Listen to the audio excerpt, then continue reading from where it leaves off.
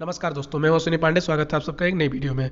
नव हाल ही में क्या हुआ कि रसियन फेडरेशन के जो डिफेंस मिनिस्टर हैं, सरगोई सोईगू उन्होंने बातचीत करी भारत के डिफेंस मिनिस्टर राजनाथ सिंह जी से। तो उस बातचीत में उनका कंसर्न ये था कि जो यूक्रेन चाह रहा है एक डर्टी बम फोड़ना रसिया के आसपास। हो सकता है वो यूक्रेन में ही फोड़े या रसिया के आसपास फोड़े। ऐसा वो इसलिए करना चाह रहा है और इसको डर्टी बम इसलिए कहा जा रहा है क्योंकि वो एक न्यूक्लियर बम ही होगा, लेकिन बहुत जल्दबाजी में बनाया गया है। इस वजह से उस पर कंट्रोल नहीं होगा। जैसे होता क्या है कि न्यूक्लियर बम में भी एक कंट्रोल होता है कि जिस पार्टी ने भी उस बम को फोड़ा है, उसे ये पता है कि इससे कितनी तबाही आने वाली है। कितना ज़्यादा उसमें उसने यूरेनियम उसमें यूज़ किया है क्या? या कितना ज़्यादा डेंसिटी के साथ में वो इफ़ेक्ट डालेगा लैंड्स पे या किसी मनुष्य के ऊपर या कैसे भी करके वो कितना नुकसान पहुँचा सकता है? इन सब का एक पैमाना होता है जो दागता है, जो बम बनाता है, जो विस्फोट करता है, उसको इसका नॉलेज होता है।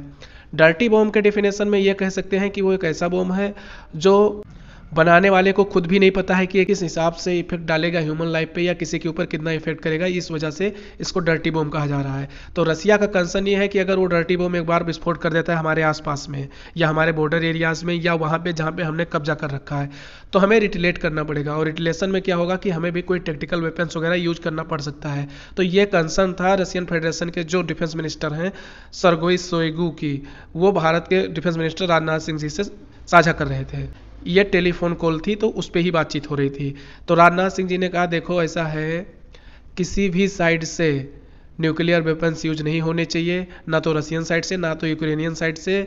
इंडिया का स्टांस इस पर क्लियर है कि न्यूक्लियर वेपन या कोई भी रेडियोलॉजिकल वेपन्स यूज़ होना जो ह्यूमन लाइफ का बेसिक सिद्धांत है, उसके अगेंस्ट है। राजनाथ सिंह जी ने लिटरली कहा है सरगोई सोइगो से कि the prospect of the use of nuclear और radiological weapons goes against the basic tenets of humanity.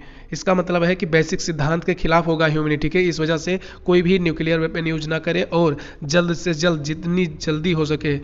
Dialogue और डिप्लोमेसी के ज़रिए इस सारे कॉन्फ्लिक्ट का हल निकाला जाए और ऐसा कुछ ना हो कि जिससे न्यूक्लियर वेपन यूज़ करना पड़ जाए। ये इंडिया का स्टांस से राजनाथ सिंह जी ने क्लियर कर दिया है। क्योंकि दिक्कत यह है कि एक बार अगर डर्टी बॉम्ब यूज़ कर लिया यूक्रेन ने रसिया के अगेंस्ट तो रसिया रिटलेशन में हैवी एयर स्ट्राइक कर सकता है या मिसाइलें मार सकता है, और इवन दो कि अगर ज़्यादा ज़रूरत पड़ी और ज़्यादा नुकसान रसिया का होने लगा तो एक दो वो टेक्टिकल न्यूक्लियर वेपन्स भी यूज़ कर सकता है। इस वजह से ये ज़्यादा ज़रूरी है कि इंडिया अपना स्टांस क्लियर रखे कि आप बिल्कुल भी इस तरह से किसी भी फाइट में न्यूक्लियर वेपन्स का यूज़ नहीं करोगे, ना तो रसिया, ना तो यूक्रेन, क्योंकि अगर in the future Russia tactical weapon use कर लेता है, इंडिया को मजबूरी में रसिया की निंदा करनी पड़ेगी और जब यूनाइटेड नेशन में वोटिंग वगैरह होगी तो अब स्टैंड एंड चिल वाला सिस्टम नहीं चलेगा। वहाँ पे लिटरली इंडिया को खड़े होकर, जो इंडिया के रिप्रेजेंटेटिव होंगे यूनाइटेड नेशन में, उनको रसिया की आलोचना करनी पड़ सकती है। इस वजह से इंडिया पहले ही क्लियर कर रहा है कि आप किसी भी सिचुएशन में रेडियोलॉजिकल या न्यूक्लियर वेपन्स यूज़ नहीं करोगे। ये ह्यूनिटी के बेसिक सिद्धांत के अगेंस्ट है।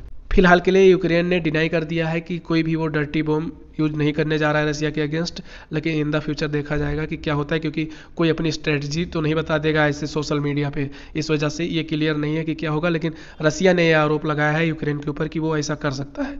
वैसे यूके यूएसए और फ्रांस कोशिश कर रहे हैं इस सारी कंट्रोवर्सी और इस सारी प्रॉब्लम को जल्दी से जल्दी ख़त्म किया जाए डर्टी बम वाले प्रॉब्लम को, क्योंकि ये उनके लिए भी प्रॉब्लमेटिक बन सकता है इन द फ्यूचर ऐसी और वीडियो देखने के लिए आप हमारे चैनल को सब्सक्राइब करें वीडियो को लाइक करें। मिलेंगे नेक्स्ट वीडियो में।